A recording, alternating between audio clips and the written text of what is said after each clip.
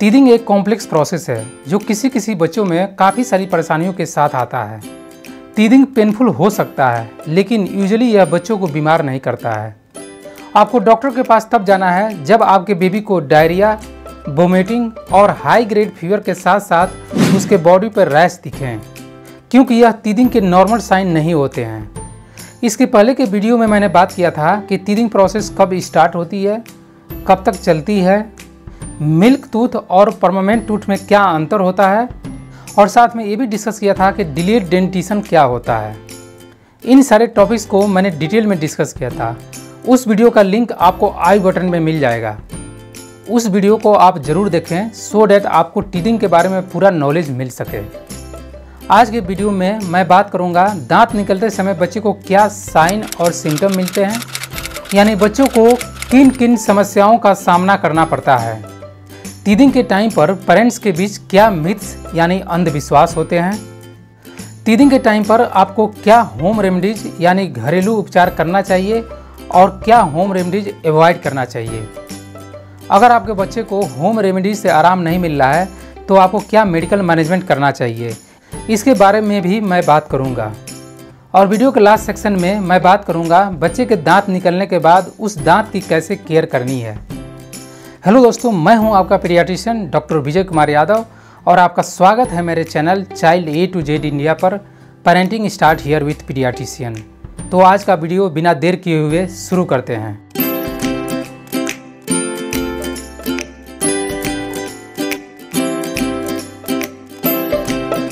First of all I will talk about what is normal sign and symptom of teething teething के time पर अलग अलग बच्चों में अलग अलग सिम्टम देखे जा सकते हैं।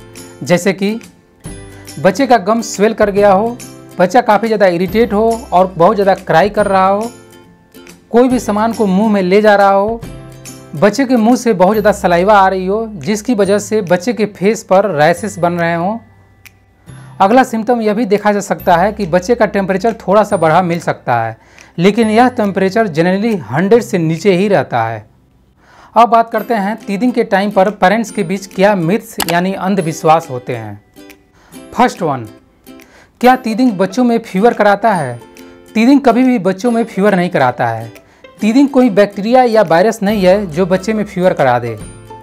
हाँ यह हो सकता है कि तीदिंग के टाइम पर बच्चे का टेम्परेचर थोड़ा सा ज़्यादा मिल सकता है, लेकिन यह टेम्परेचर जनरली 100 से नीचे ही रहता है।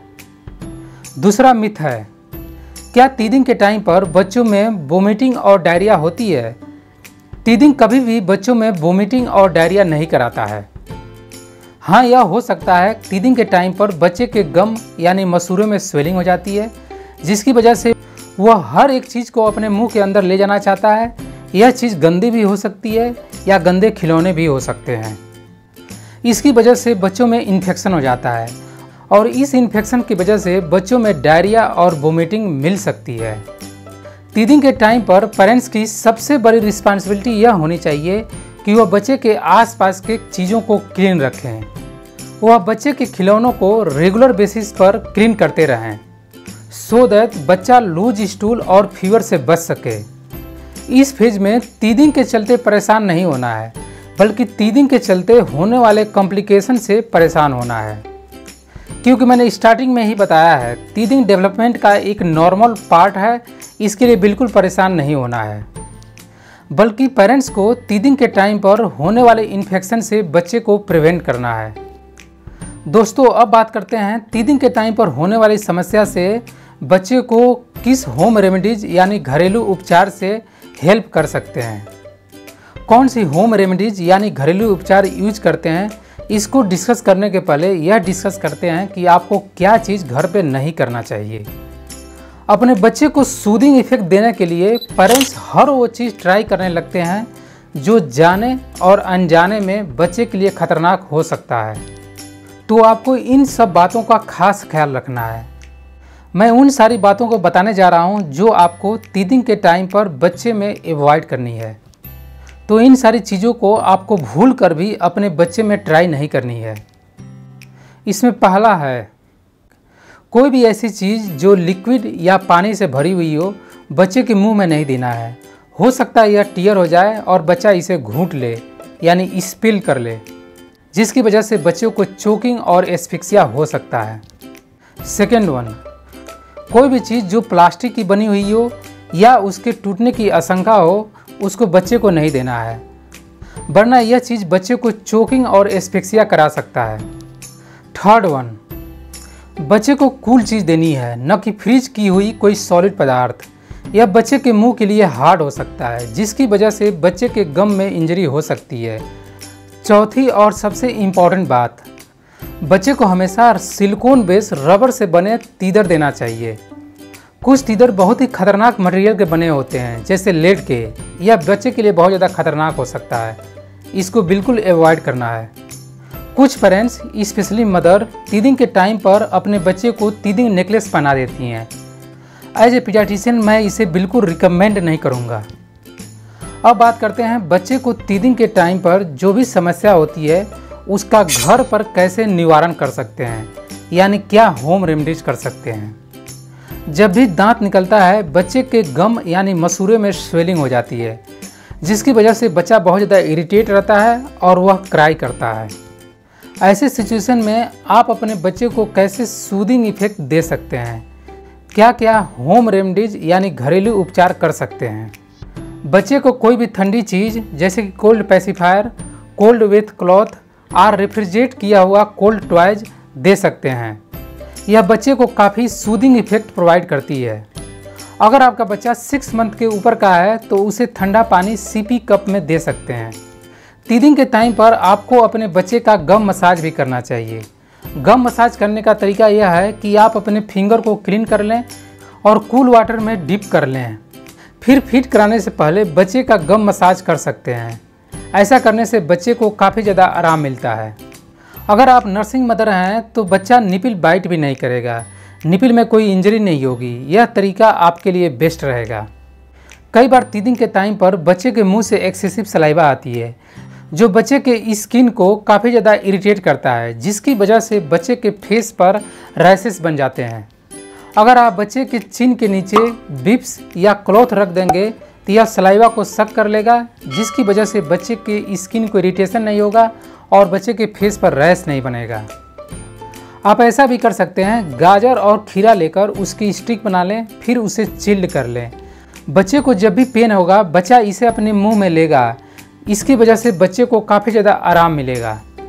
मैंने जो भी होम रेमेडीज यानी घरेलू उपचार बताया है, इतना सब करने के बाद भी अगर बच्चा कंटिन्यूस क्राई कर रहा है, फजी है और बहुत ज़्यादा इरिटेट है तो आपको मेडिकल मैनेजमेंट की तरफ़ जाना चाहिए।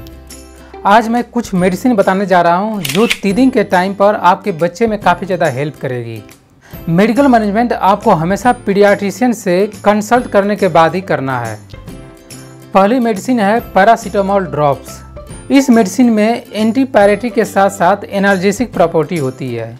इसलिए यह मेडिसिन फीवर को कम करने के साथ साथ तीदिंग के टाइम पर बच्चे में होने वाले दर्द को भी कम करता है।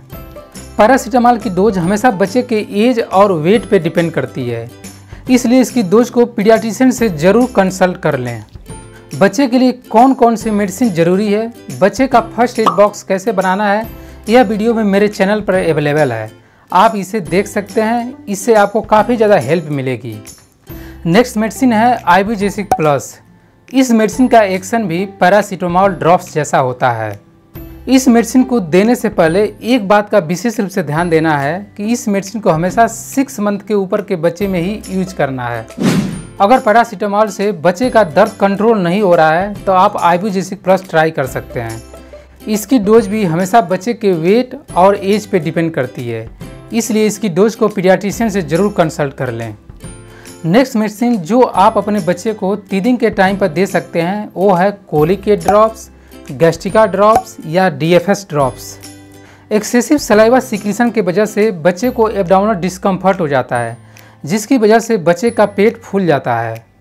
ऐसे सिचुएशन में बच्चे को कोली के ड्रॉप से काफ़ी ज़्यादा रिलीफ मिलता है। इसकी डोज आप स्क्रीन पर देख सकते हैं। अब बात करते हैं तीदिंग के टाइम पर आपको अपने बच्चे में क्या मेडिसिन एवॉइड करनी चाहिए। कई बार पेरेंट्स तीदिंग के टाइम पर बच्चे को दर्द को कम करने के लिए उसके गम एरिया में कोई मेडिसिन रब करते हैं। यह मेडिसिन जनरली पाउडर जेल या लिक्विड स्प्रे फॉर्म में होती है। ऐसा करने से बच्चे का गम पेन तो ठीक नहीं होता, बल्कि बच्चे को बहुत सारी दिक्कत स्टार्ट हो जाती है। जब भी आप मेडिसिन को गम में रब करते हैं, यह मेडिसिन सलाइवा के थ्रू वॉश आउट हो जाती है और बच्चा इसे मुँह के अंदर ले लेता है। जब यह मेडिसिन गले के थ्रू पास होती है तो यह गले में इन्फ्लेमेशन और इरिटेशन कराती है, जिसकी वजह से बच्चे का गला हार्ड हो जाता है और उसे निगलने में दिक्कत होने लगती है। इसलिए पेरेंट्स को बिल्कुल भी ऐसा नहीं करना है।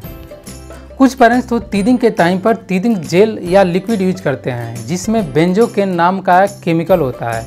यह बच्चे के लिए काफ़ी ज़्यादा हानिकारक होता है, इसलिए पेरेंट्स को ऐसा बिल्कुल भी यूज़ नहीं करना है। So avoid such type of product दोस्तों, अब बात करते हैं, क्या आपको तीदिंग के टाइम पर ग्राइप वाटर यूज़ करना चाहिए? तीदिंग के टाइम पर ग्राइप वाटर का यूज़ बहुत ही कॉमन है।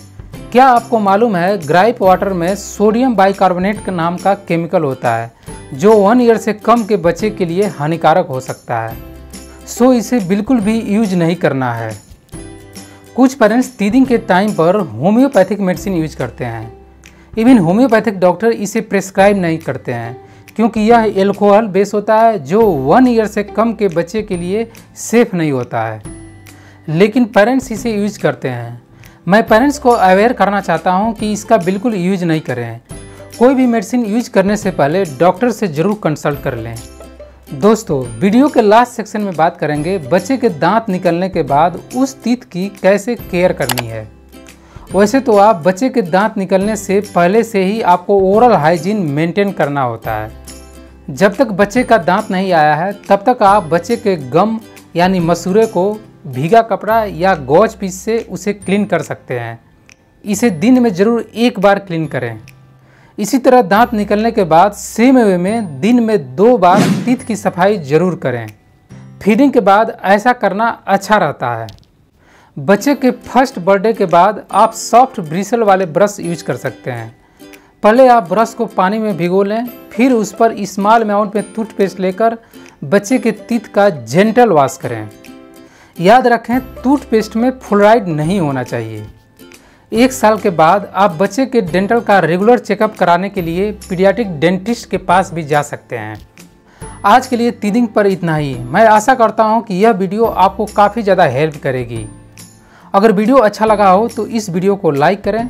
अगर चैनल अच्छा लगा हो तो ऐसे ही बच्चों से रिलेटेड कंटेंट के लिए मेरे channel child A to Z India को सब्सक्राइब करें। Thank you.